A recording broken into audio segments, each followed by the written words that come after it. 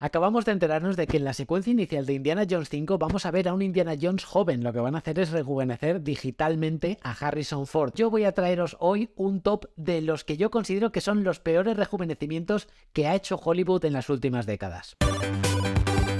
Empezamos por Terminator Salvation. Es una recreación pésima de Arnold Schwarzenegger. es que paras el fotograma en diferentes momentos y parece un muñeco del Museo de Cera. Seguimos con X-Men The Last Stand. Y lo que les hicieron es un lifting digital. Hay una parte de la cara, por ejemplo, que tiene todo el grano y todo el detalle de la película.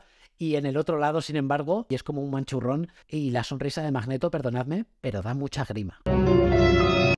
Tron Legacy con Jeff Bridges, yo creo que no puedes plantear un personaje digital en una película cuando la tecnología todavía no está lista, Jack Sparrow en Piratas del Caribe. Rejuvenecer a Johnny Depp de esa manera como hicieron es absolutamente horrible. Decid algún caso más que no os haya convencido, os leo en comentarios.